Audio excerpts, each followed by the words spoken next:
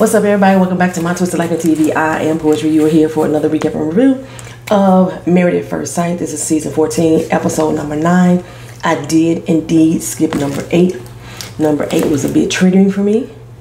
I was full of disgust for the entire episode, so I didn't say much at all. Plus, I didn't want to discuss Alyssa. I didn't, her or Chris.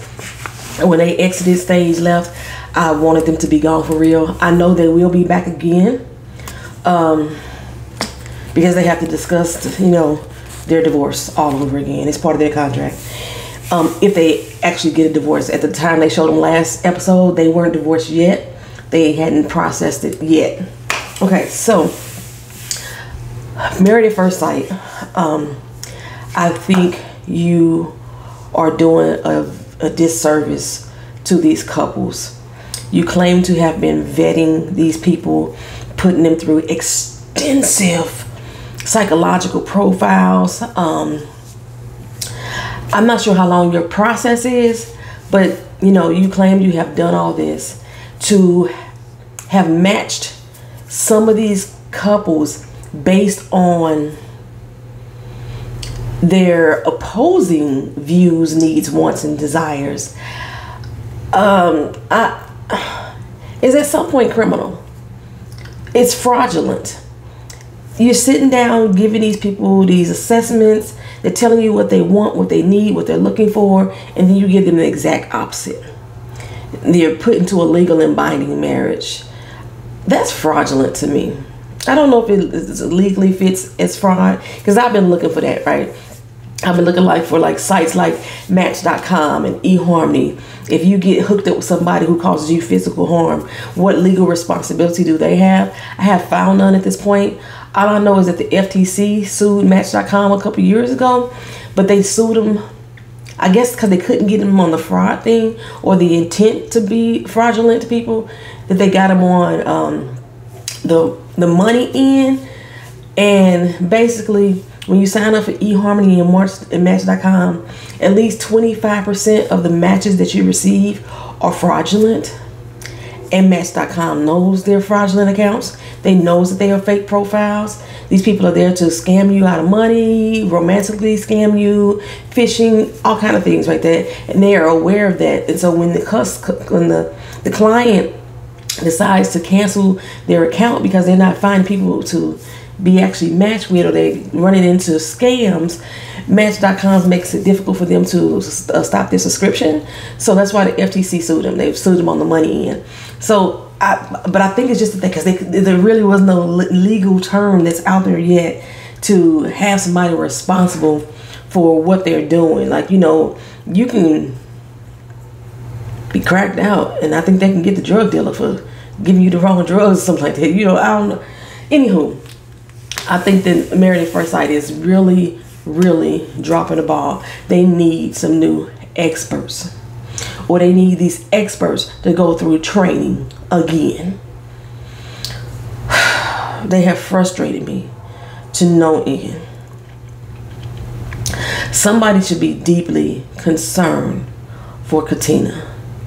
I can only assume that our experts are sitting back watching things unfold very carefully in the same manner that they did with Alyssa and Chris.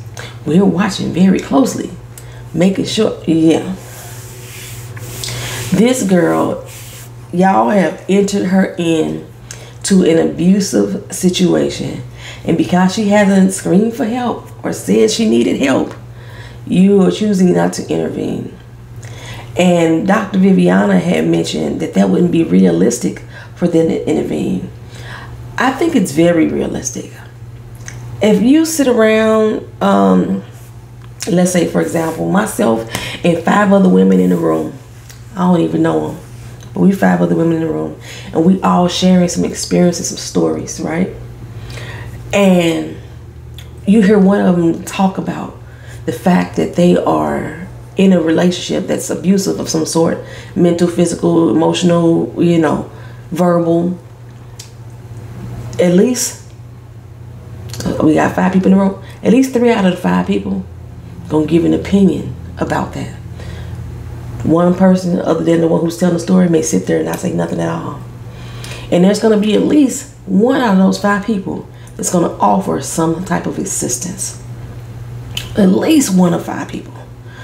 You need help getting out of there. I know some resources for you. Something. So it's not unrealistic for you as an expert who put these people together to step in and add, give this woman some type of advice or an assistance or resources that she could utilize when she comes across this type of situation. If we always waiting for the victim to stand up, they may never get to that point.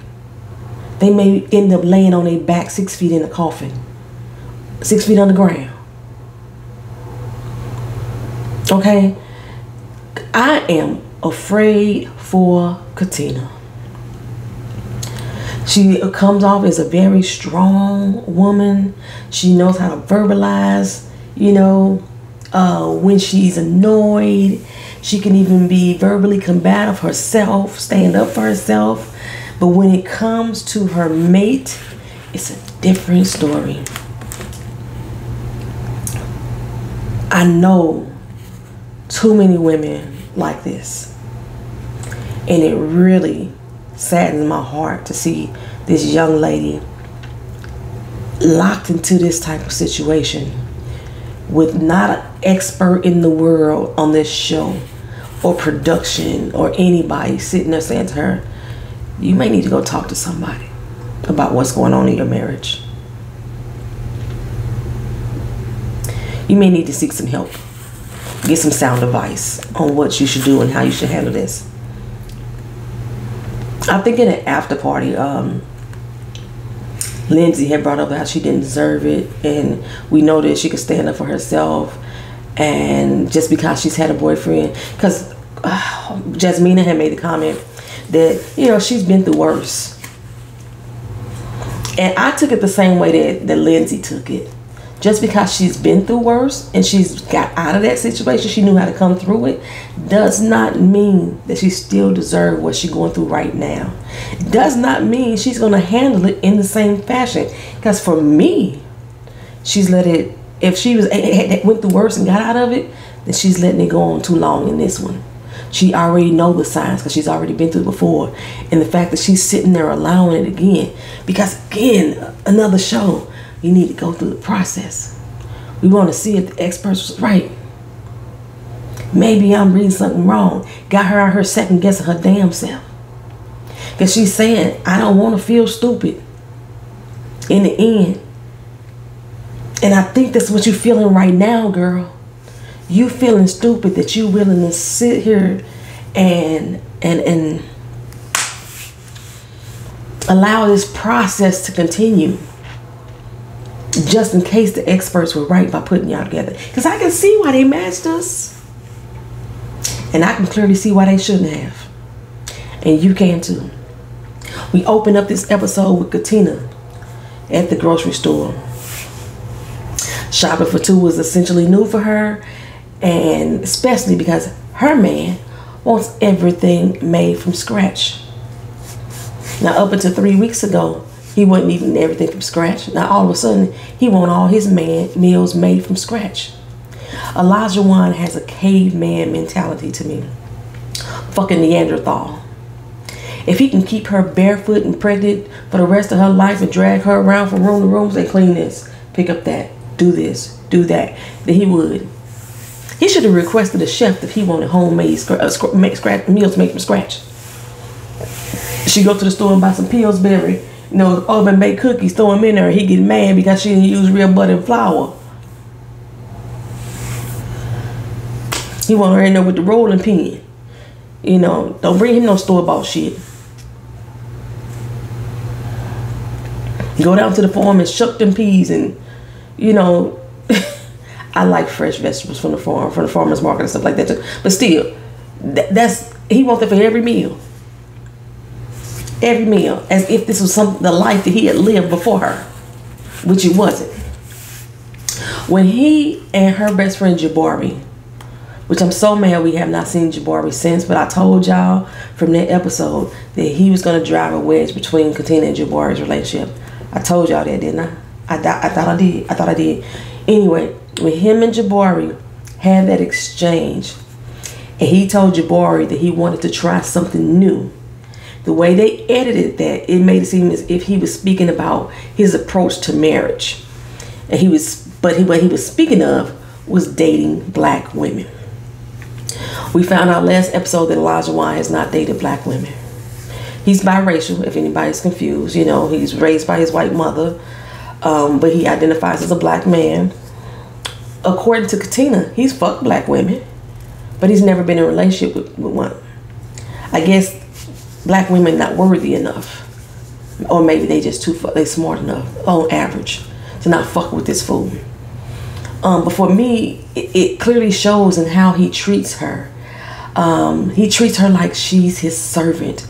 And I've noticed that from a lot of men who only date outside of their race. Um, that when they go outside of their race, they look for a woman in whatever nationality or whatever race they choose that's going to be a kiss ass, for lack of better words, um, mild, meek, timid in his presence to do do whatever he says type of girl. You know, that's what he's looking for. He wants her to be the perfect wife and her wanting to be the perfect wife, whatever that is, because she doesn't even know what it means for real either. For her wanting to be the perfect wife, she's just gonna get along to get along, okay? But inside, it is eating her the fuck up. The girl looked like she'd been crying when she started off this episode, she her eyes were so puffy and swollen. When have we ever seen Katina without a beat face? She woke up in the morning with a full face of makeup on. Now she out here at this store looking lonely and destitute. Face is plain. She fucking tired and exhausted. Baby girl is stressed the hell out. She's saying that she hopes when she gets home He's not on her back for not getting enough stuff. Katina, baby girl, you could bring home that entire grocery store and he will tell you that you still were not considerate enough to bring him exactly what he wanted. Why do you have to bring the whole store? all I wanted was a bright red shiny Washington apple. But no, you too lazy to go find an, apple, make sure it didn't have no worms and no dents or nothing like that. You too fucking lazy to do that. So you decide to bring the whole fucking store, and now I gotta go down up every fucking aisle and lift up every orange and lift up every apple and turn down, you know, pick up underneath the register, check the shopping carts just to find the one apple that I wanted because your ass was too fucking lazy to get it. Gonna bring me the whole fucking store. That is the type of mentality that one has. I want to jump through the screen and fuck this man up. I'ma tell you this week and last week, I have been triggered to no end from the people on this show, and Olajuwon ain't the only one. Y'all already know how Alyssa was getting to me. Katina, girl, who else is bothering me like this? Mark? Jasmine? Mm-hmm. Noi. Noi is annoying me. But we go forward. They pan around to the other couples, right? And um, did y'all notice when they when Lindsay was showing the house and she showed the cats that Mark's cat had a big patch of hair missing on the back of his buttocks? Like it had been biting itself. I bet you it was them bed bugs, poor kitty. I bet you it was them bed bugs. Now tore that cat up. Their body language to me shows that they are just getting along for the sake of the cameras. That's it. I think Mark is so weak when it comes to what he wants others to feel about himself or his relationship. Um, which is why he always has to belittle Lindsay in public or to them. He throws her under the bus so much. Yes, Lindsay is a bit fucking much. Yes, Lindsay acts like a motherfucking Karen. Yes, Lindsay is just, you know, over the fucking top. Okay? She is. I can't deny that shit. And Lindsay would turn you a new asshole. Whatever information she know about you that you told her in confidence, she gonna throw that shit back in your face. That annoys the shit out of me out of Lindsay. But Mark only does it just because he is afraid of what the other people think about him in regards to this relationship.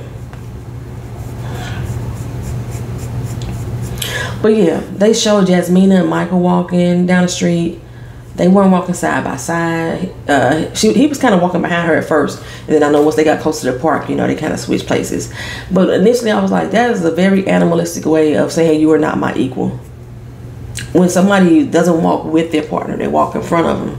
That's their way of saying that they're not they're not equally yoked. Um, they want to be the one in control of the moment at that time. I was like, she training Michael. Have you ever trained a dog before? One would tell you not to let the dog walk in front of you um, because then that dog will think that they're in control. It's like a pack mentality type thing.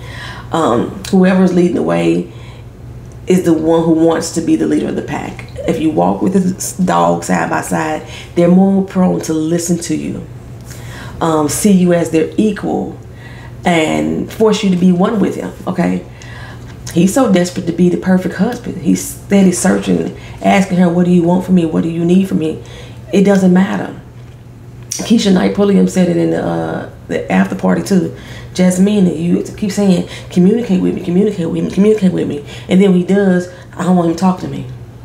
Don't talk to me. Don't speak to me. And then you say, communicate with me, communicate with me, communicate with me. And then when you does talk to you, uh, don't talk to me in that tone.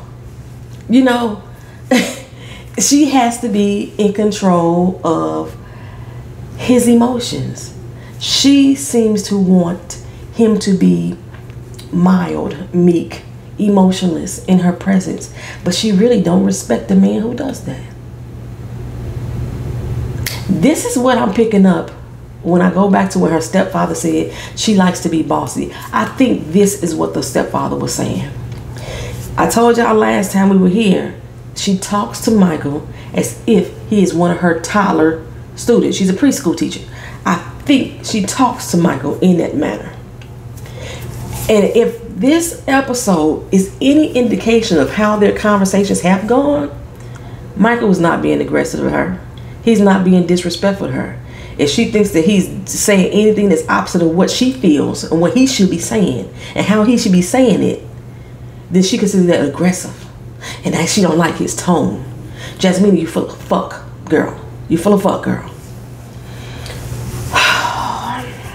like I said, he's so desperate to be her husband, he just getting along to get along to going to get along to. He can't have no fucking opinion at all. Don't express it. Don't express it with emotion. No, because then he's getting too aggressive. I can see him now begging for her approval in attempts to not piss her off. I mean, because she addresses him with forceful disciplinary tones. It's okay. And she always says, only reason why I got this way because of you. You cannot make me believe that this particular scene that they showed here was a one-time incident. That this is the only time that he wasn't getting loud and speaking with an aggressive tone and she took it as such. I believe that is the norm.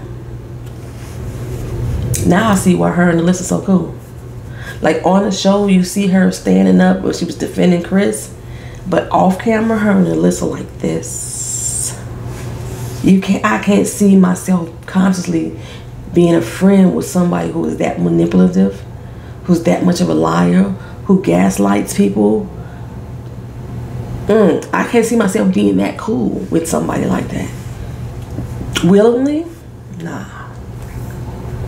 Nah. So the ladies uh, want, the experts want them to plan dates for each other um, thinking that these special dates will help them on the road to love. I just don't understand why we're trying to force people into love at week three. it's week three. I understand that we got into a marriage. We jumped into the marriage first, and we're kind of working our way from there. We're not working backwards. We got into a marriage, and now we're building from there. So why we need to rush to where we're going? Oh, because we're trying to get to the process. We have to make a decision in eight weeks. We, that don't mean I have to be in love with you in eight weeks. Why are we fast pacing this process?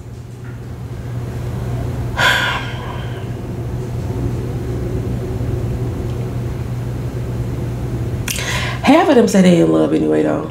Um, Noi she decides to take uh, Steve on an adventure. Looks like it was a little scavenger hunt, you know, in the park. She left him these little cryptic messages and these little treasure chests all through the park. Um, I love, absolutely love scavenger hunts, y'all. I absolutely love them. And I thought this was a very cute idea, considering that he's adventurous, right? And this is a good idea, way for her to try to become adventurous. Um, I doubt she came up with it on her own though. thank you for production for helping her out. Matter of fact, in every last one of these situations, thank y'all for helping them out. Um, what happened to the treasure boxes? They went to like four or five different spots. By the time he found in the end, he didn't have not one. Tre- he only had one treasure box in his hand. So production must have been taking those for him too. It was a cute idea. It seemed like it was short, but like I in the after party, Noi was saying he was out there two hours looking for her, trying to figure those clues out. He did not come to those answers that quick. Anyway, when he found her, of course Noi had to know. Did you think this was a cute? Was it cute? Was it cute? He said everything you do is cute. You know, you can see how that they clicking, they bonding. Um, at least she didn't ask him this time on a scale of 100, 1 to 100, how do you think I did? You know, but she still needs that constant reassurance, constant reassurance. Okay. Over at Lindsay and Mark's, it seemed like they still got tension. This is the night after the bowling alley incident, right? Where her and Katina exchanged words. Do I hate to say it? No, I was on Lindsay's side. I was on Lindsay's side this time. Um, I honestly did not see a need for Mark to come at Lindsay like he did. He's always thrown her under the bus. I guess he feels that she shouldn't speak in defense of herself at all. The eye rolling from Katina was very unnecessary. And when she asked Katina about it, she actually did not do it in an aggressive tone. She just said, What's the eye rolling for? I don't care if they had beef before. Mark thinks because they had beef before, she shouldn't have said nothing to her. But Lindsay said, like she said, I'm a very direct person. I had a similar incident last night during our live stream. We was talking about a situation and somebody that um, we had a conversation about this matter before, and we were on opposing sides of the uh, the conversation somewhat, not completely, but somewhat. And when it came into the stream, I was talking about it, and then they put LOL in the stream. And my first thought was, the fuck is funny? Now, Lindsay could have said it that way. The fuck you rolling your eyes for? The same way I did. That would have been in an aggressive, combative way. She asked a question. Lindsay, uh, Katina could have simply responded. I wasn't doing anything. The same way that Lindsay did with Alyssa, even though we know that she did. When Liz, Alyssa was like, don't make those faces. And she was like, I, I ain't say anything. Katina could have did that too. She didn't. Okay, it's her choice. Katina could have said, I didn't agree with what you said. Simple as that, you know, simple. But Katina snapped on the girl. But somehow, Lindsay was the one in the wrong. I bet a dime to a dozen, Elijah wanted to tell Katina to check herself. Then again, maybe he did. He he he tried to pimp her. I mean, not pimp her. He tried to um. What's the word I want to use? Control her actions anyway. You know, her way of thinking anyway. Since she's so immature and such a child, he might have said. And plus, he already told her once before, "Don't say nothing back to Lindsay." But you know, anywho, Katina's response would have been checked by me like I said, that same situation happened last night, you know. Um, so I didn't feel like she had responded in such a way to make Mark act the way she did. Um, like I said, Mark is so worried about his own appearances that he can't seem to hold her down. He can't seem to, you know, just be on her team for a moment. I mean, he could have said, he could have said to Lindsay, you know what, hey, I know you and her don't like each other. I thought it was fucked up what she just did.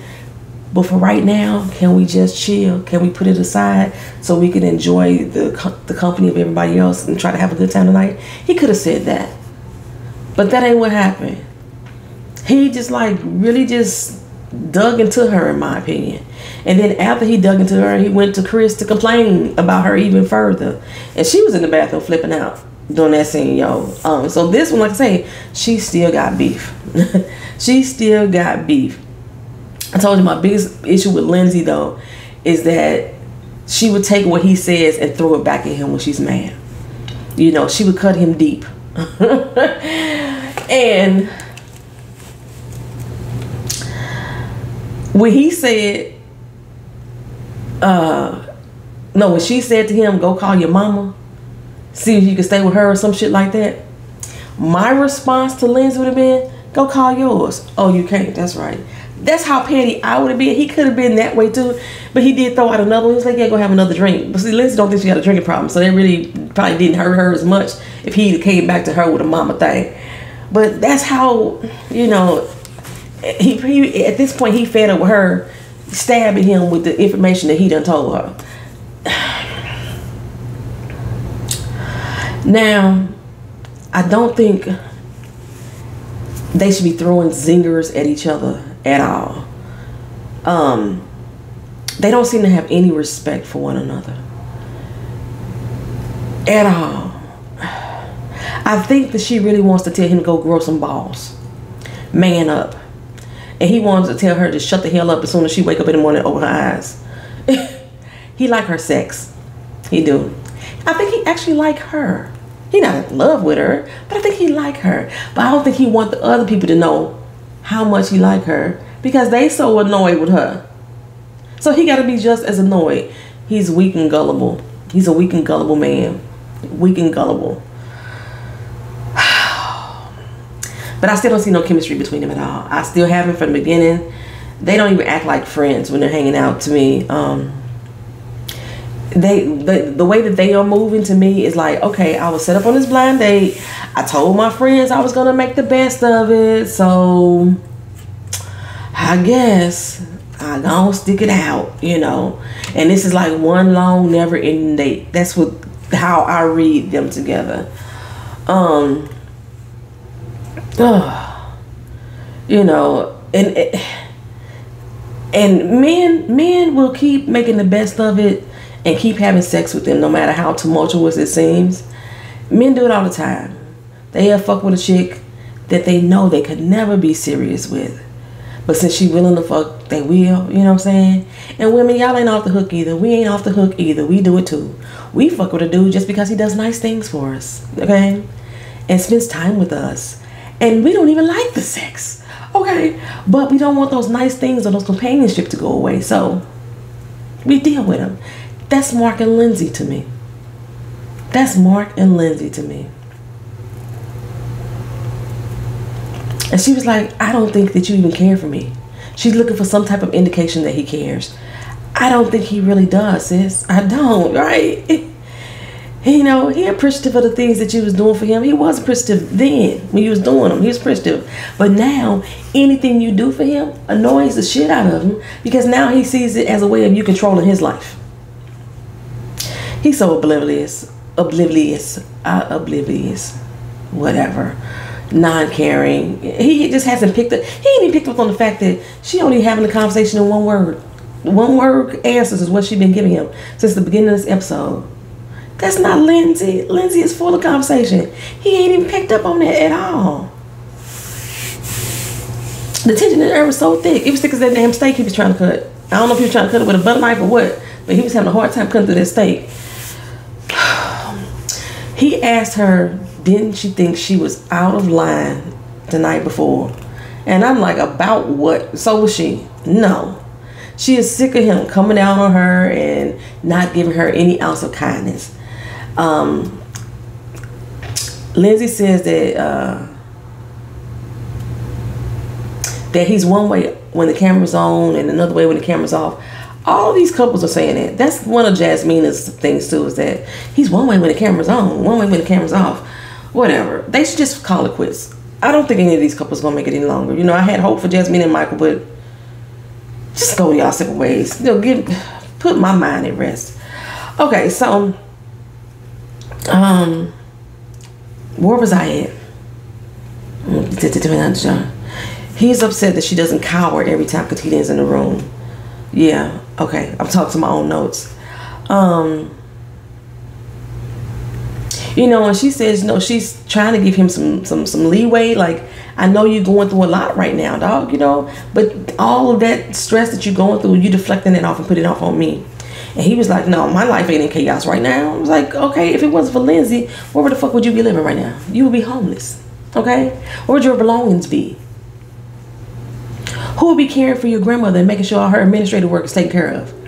You ain't been doing it. Lindsay stepped in and done that shit in the past three weeks of you knowing her. She's taken over that. She's had to throw on a cape for you to keep you from falling. And you like, well, I wasn't gonna hit that hard. That's how he is.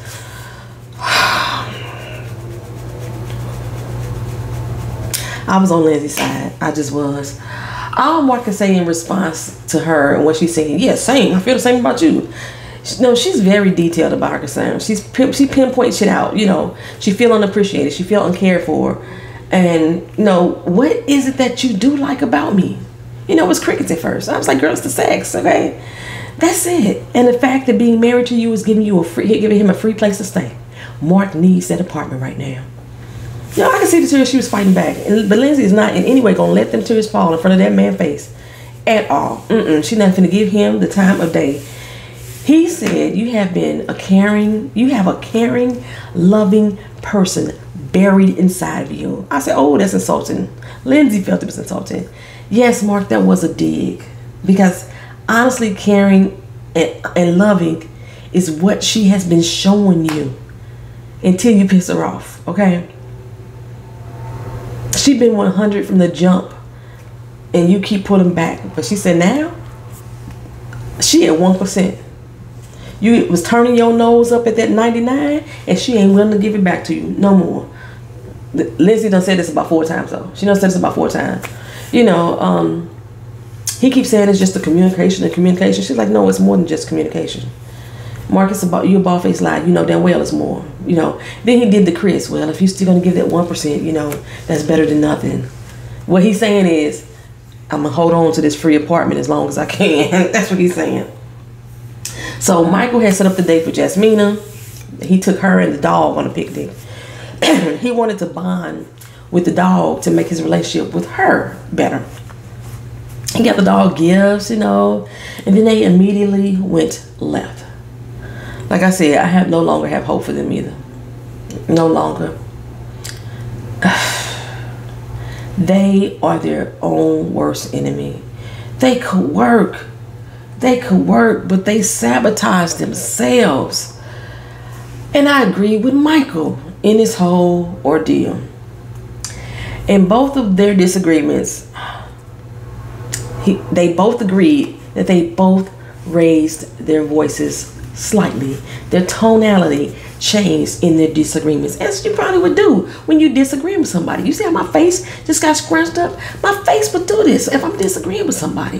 You know what I'm saying? If I did this while talking to Tina, she would tell me, calm the hell down.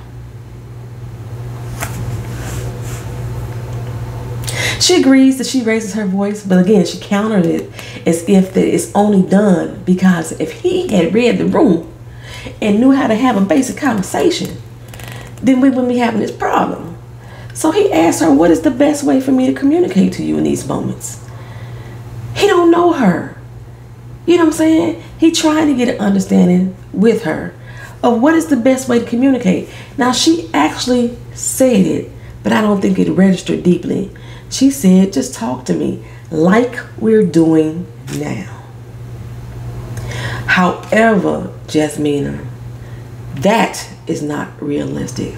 Because when people speak with something with passion, when they speak with the purpose of making a point, your tone, your pitches, your body language shifts naturally. This man is not a fucking robot. He is human. He's allowed to have emotional responses, which she does not appreciate from him.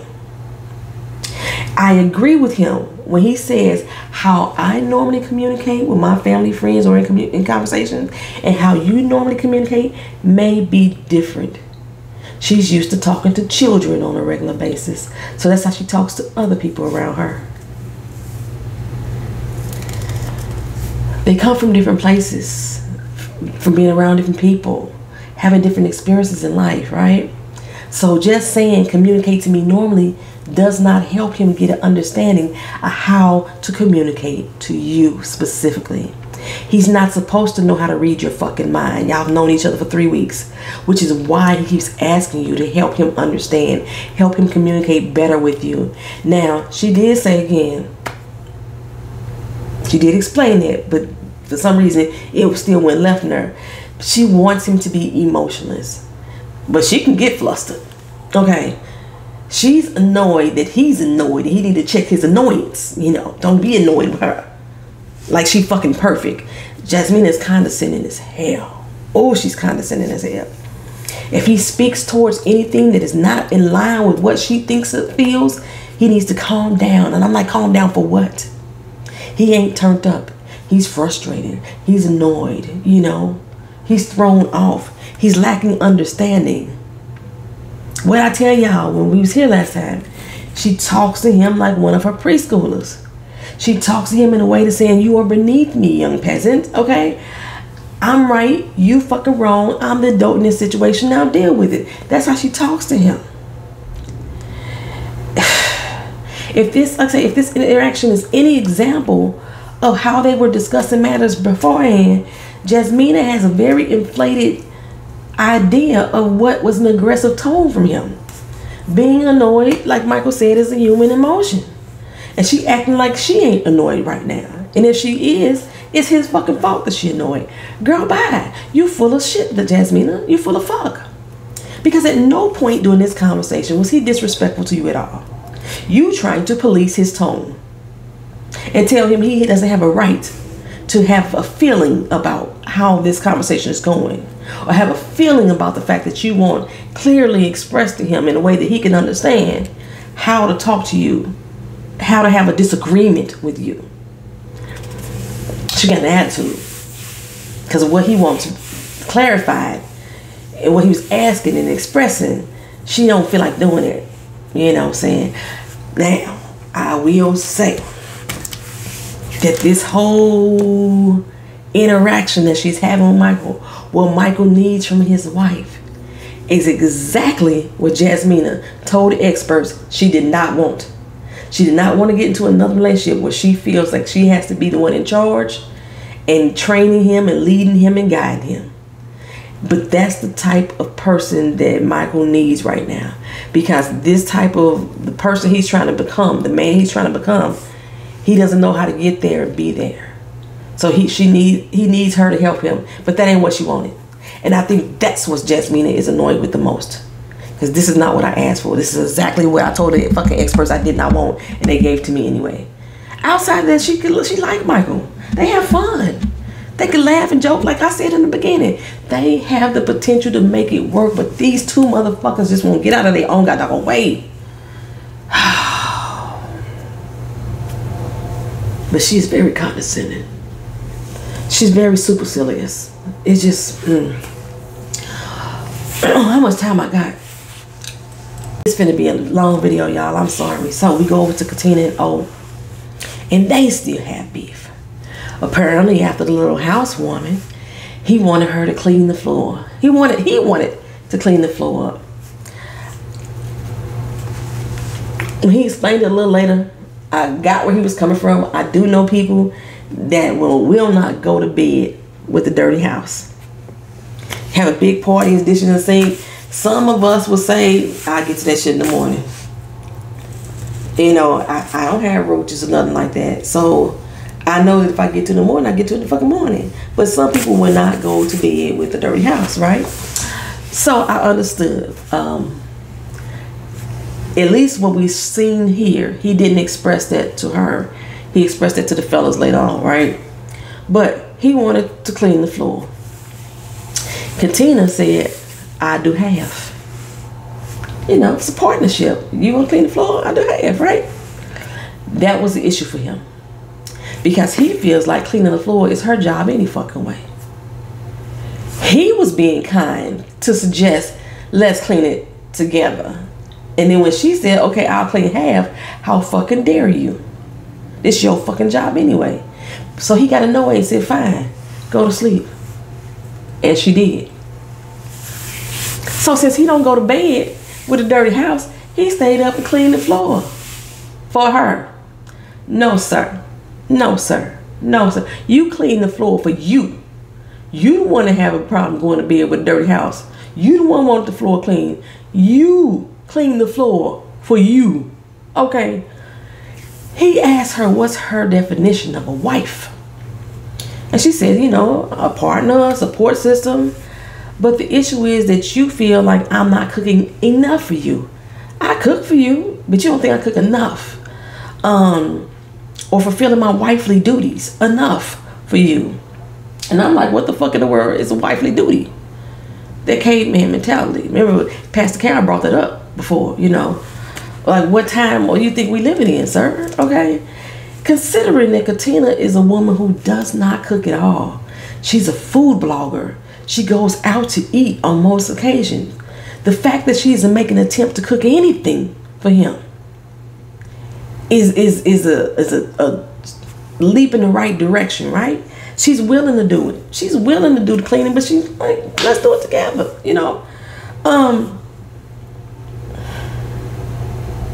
But he wants her to be the wife to jump and when he said, I want the floor, let's clean the floor. And she, he wanted her to say, go ahead, baby, go to bed. I got this. That's what he wanted her to say. and that's what he wanted her to say.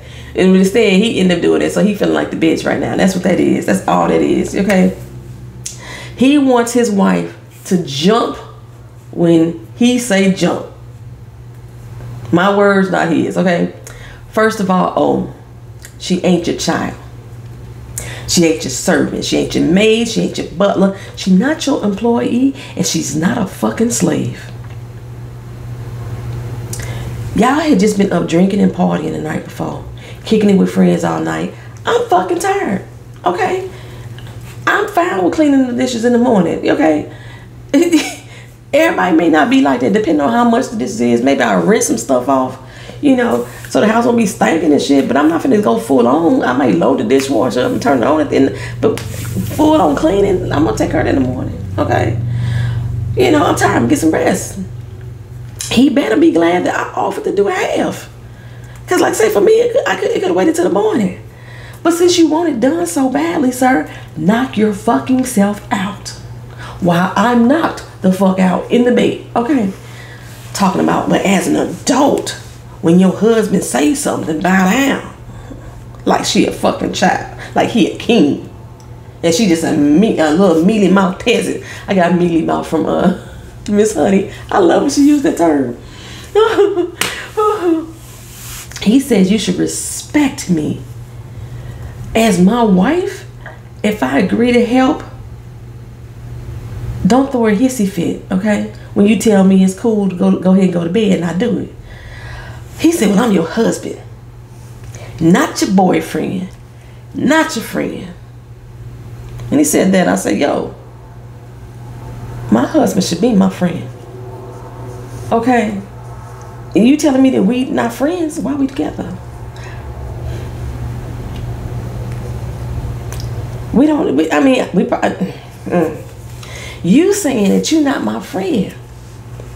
Well, for some reason you demand I be your servant. I'm your helpmate, not your servant, sir.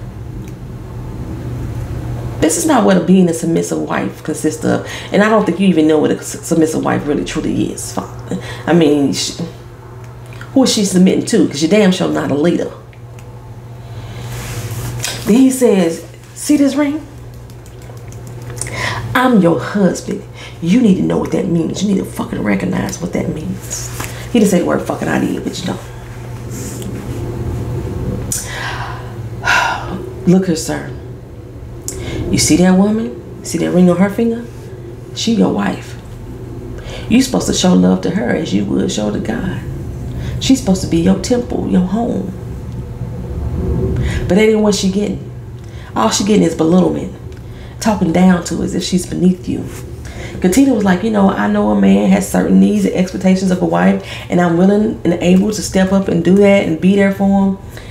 Um, but she didn't realize that no matter what she does, that she still would never measure up to his standards.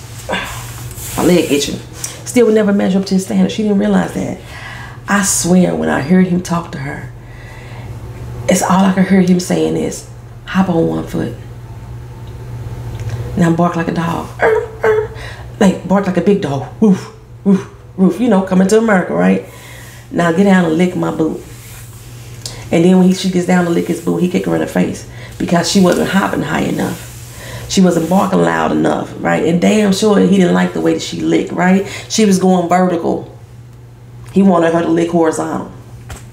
So when she decided to do horizontal, he wanted it done in circles. That's the type of motherfucker he's showing himself to be. And the experts have not stepped in at all because they're watching very closely and monitoring each and every relationship.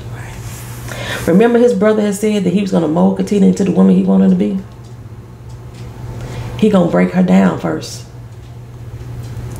You gotta break that clay down.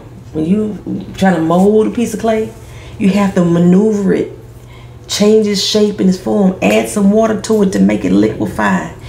It, he's gonna break her the fuck down.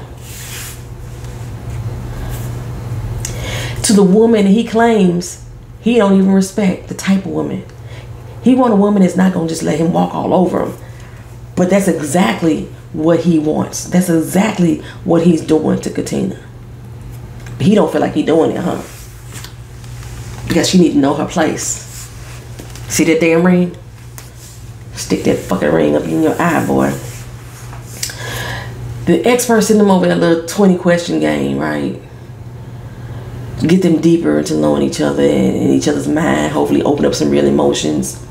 And I was like, this ain't finna go good. Noi and Steve first question is, have you ever been in love? Noi said she thinks one time. I was like, you think? You, you think you've been in love? You ain't sure? But you sure you're in love with Steve right now? Steve says all of the serious relationship he's been in, he's loved them all. Um, Noi is taken aback and a bit perturbed by that because she's like, well, why he don't love me? He he could tell them five people that he loved them because he's had time to build with them, to get to know them and understand them. He's known you for three weeks. On day three, knowing you told this man you was falling in love with him.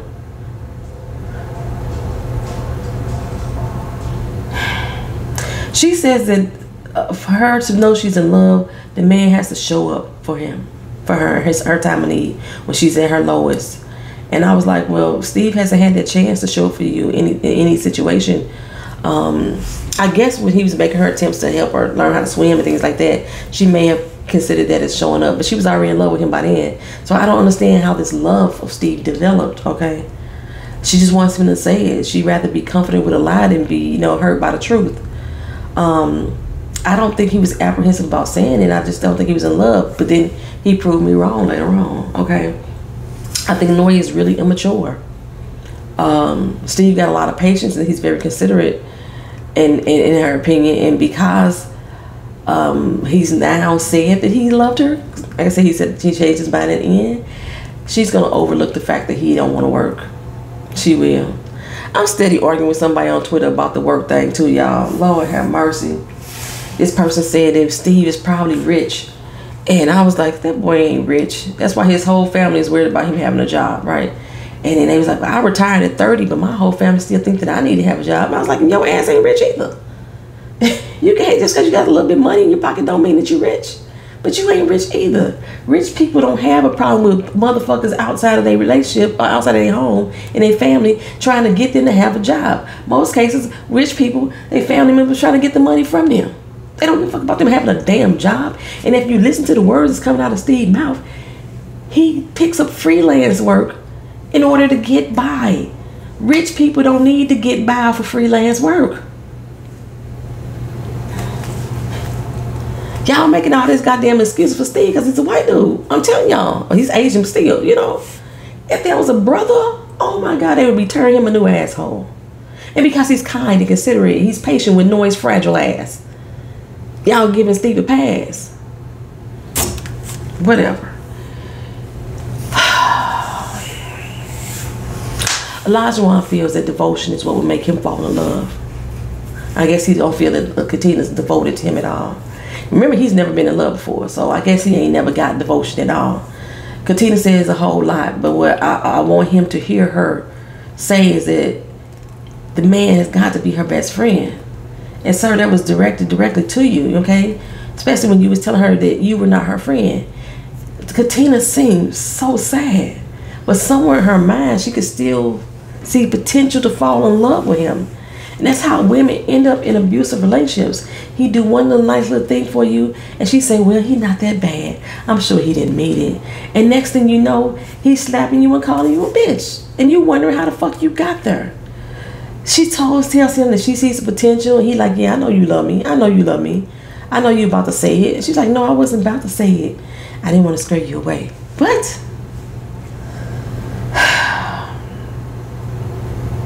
This saddens me. It really saddens me to know that she thinks this is what love looks like.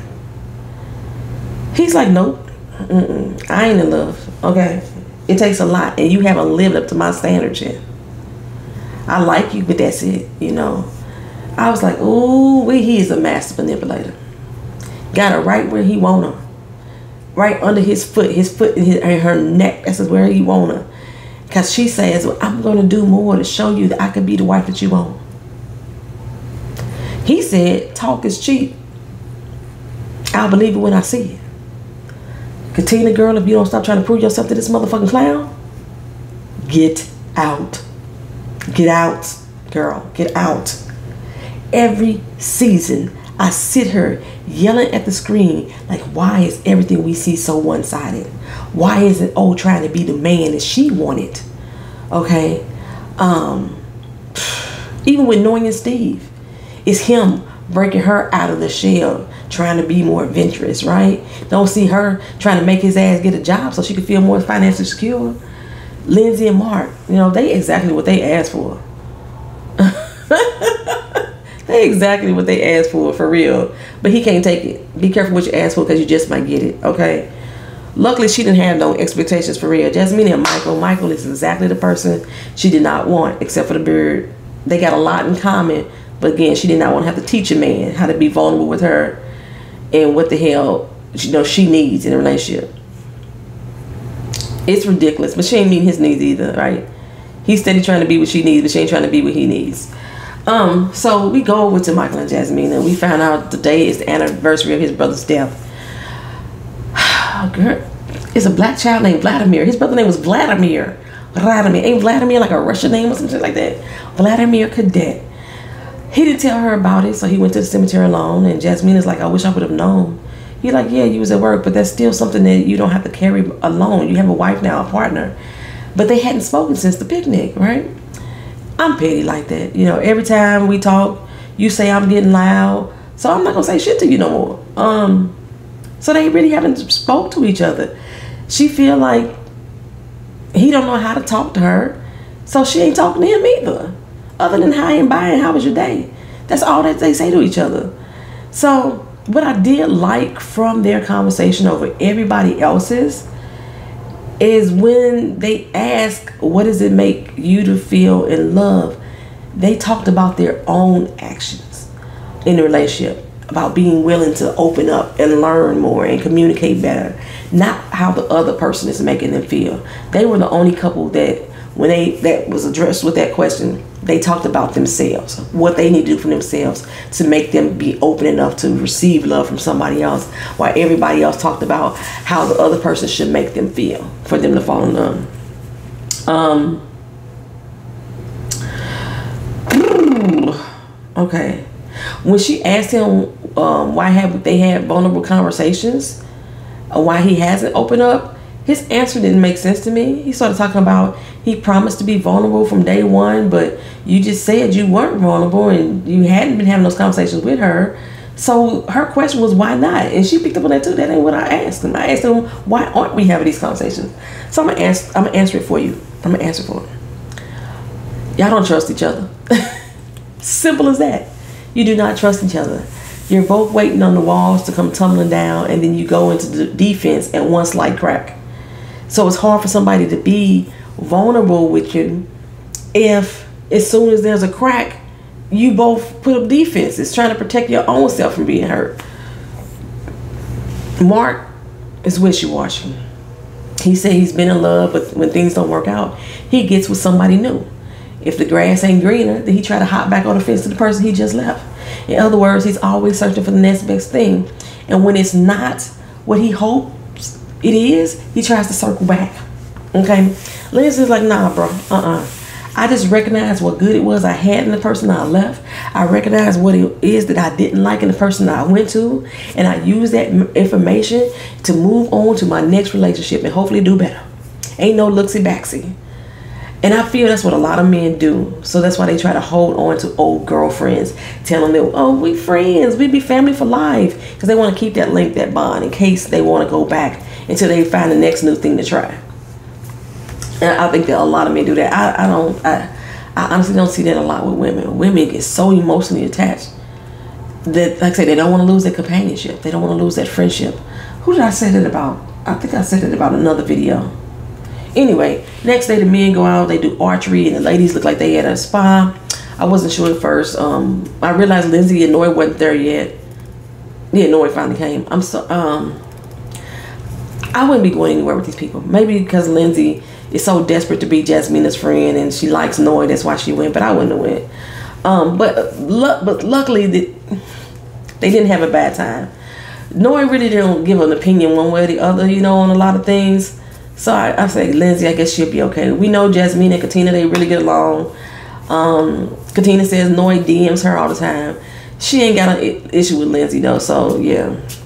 That's what she say. That's what Katina say. I really ain't got an issue with Lindsay. I was like, girl, you cannot stand that girl. But okay, you willing to be open up and be open and receptive of her, fine. So she was able to open up a little bit and talk about the tensions in her marriage and I was like, was it just me or did Jasmina seem thoroughly pissed off during the whole conversation? Oh, on the other hand, is at the archery saying Katina is not putting forth any effort into the marriage. She's lazy. She's a child. She acts like a baby. He got to teach her how to be an adult. And he's doing everything. I was like, bruh, I'm confused. Why is it so hard for you to adjust to living with your wife who's not picking up after you, catering to your needs, and this is how it was just three weeks ago for you. Why is the struggle so real for you now? I'm really struggling. I'm really struggling. He said he is wondering do he need to break a chair for her to understand that he is being beat? And I think he wanted the men to say, Yeah, dog, I understand that. But they all sat there and looked at him in astonishment. And he was like, I mean, I'm just tired and her Michael go, I could just really see the pain in his face. That's lies. That's manipulation. He manipulating y'all too. This girl ain't putting forth no fucking effort. If you don't get the fuck on with that bullshit. The look on Mark's face was like, is this nigga crazy? That's how the look Mark looked. He is serving up classic woman beater, okay? My wife won't wash the dishes and put them away. I mean, she did wash the dishes though for your ass though. But that's not how I want it done. I want them put in the cabinet. Well, she put them in the cabinet. I didn't want them in the right side. I wanted them on the left side. Okay, well, she put them on the left side. Well, why she leave them turned down instead of turned up? That's how that mother. Ooh. Now he playing victim. Shut the fuck up. Oh. Hmm. Okay, where was I going?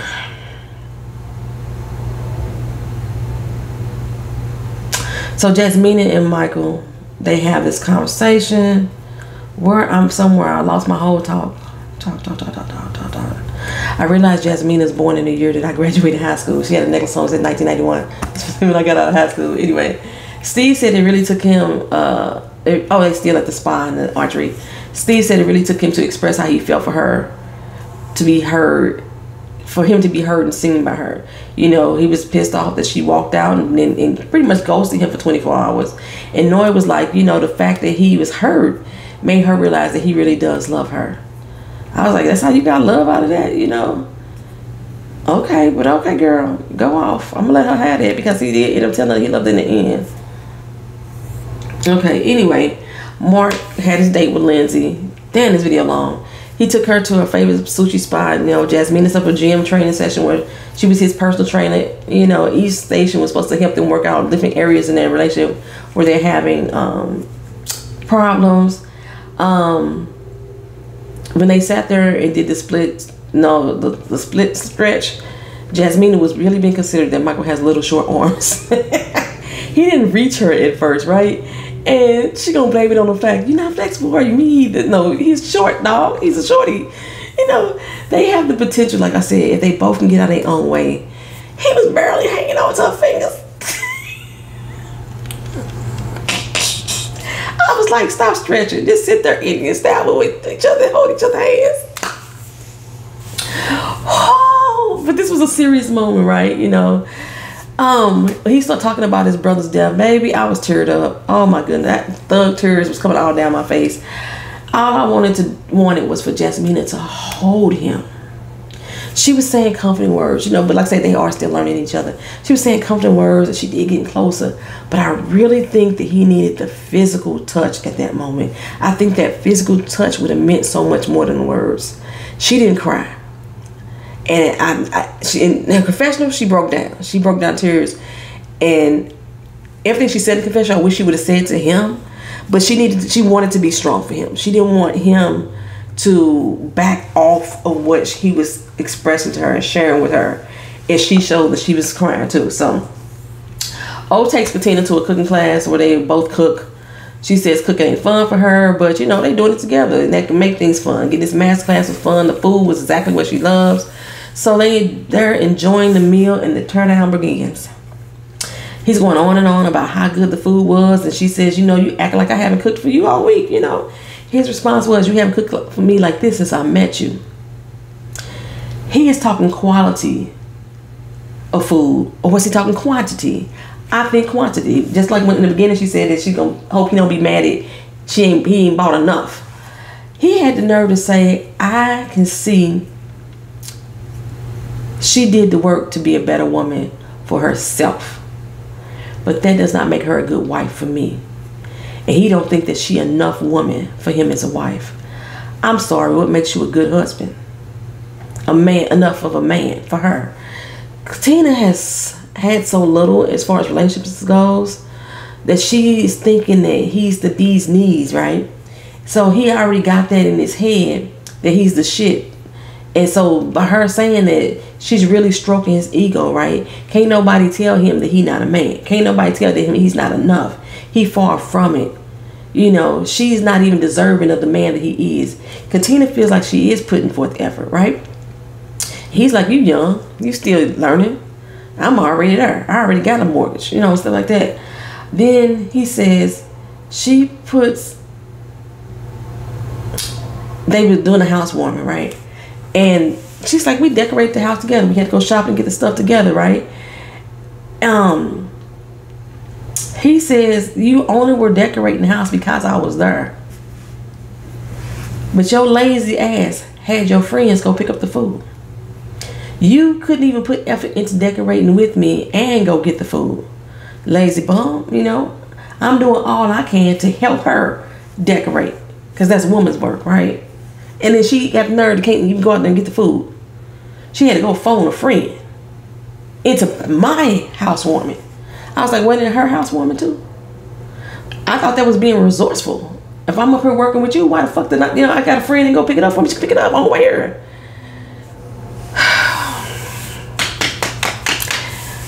He says, I cannot settle with somebody that doesn't have a base on how to be an adult because they don't have the life experience of sleeping with a mother and a daughter. I'm adding that part on there. That's what he's saying. You know what I'm saying? I don't sleep with a mom and a daughter. I done got some world experience. Katina girl, when is enough gonna be enough, sis? When is enough gonna be enough? The constant cutting you off when you're trying to talk, trying to get a word in edgewise. That was my first straw, okay? This nigga been coming for you all week long, been coming for you since the fucking marriage. And you keep saying, I'll do better. I'll do better to prove it to you, to show it to you. No, fuck that, okay? You are not flawed. Katina, I hope you listen. You are not flawed, okay? You're not as flawed as he tried to convince you are. You may have some flaws, but not the way he tried to convince you are. Don't take that shit to heart, girl. Like, don't take him into your fucking heart. He needs to ground you. He needs to have you beneath his feet. She said I needed a break. He wouldn't even give her that. Okay. She's like, I need a break from this conversation. She was trying to take her mic off. The produce, production didn't come over to help because they wanted this conversation to continue on. He had Elijah around probably threw them a fucking like, uh, no, no, we finna have this talk right now. He probably did that. They just cut that scene out, something like that, because nobody ever came over there to assist her to get that mic off so she could take this fucking break that she needed to take.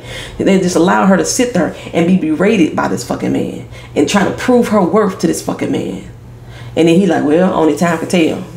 Yeah, I heard you saying it, but no, I don't believe you. No, ma'am.